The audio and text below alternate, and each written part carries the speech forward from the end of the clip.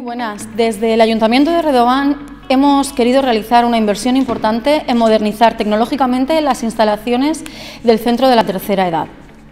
Cada vez más nuestros mayores tienen interés por las redes sociales, necesitan realizar trámites online o simplemente se apuntan a la moda de ver películas y series a través de las plataformas digitales. Lo que queremos es que aprendan a manejarse con las nuevas tecnologías y que también tengan autonomía en estas cuestiones.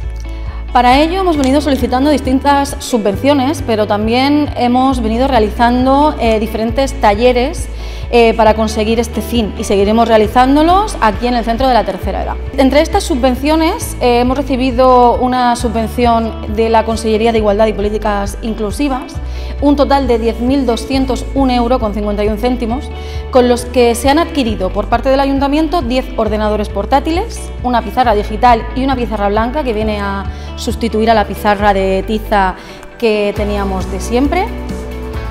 y tres sillones que ya eh, se están utilizando los usuarios y usuarias de este, de este centro.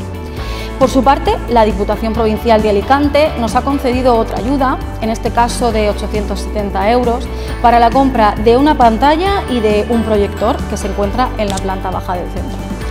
La mayor inversión se la lleva el propio edificio, del que por parte del ayuntamiento ya se ha cambiado el suelo de la primera planta y todas eh, las puertas. Pero la más importante, sin duda, será la subvención que la Diputación de Alicante nos ha concedido de 98.391 euros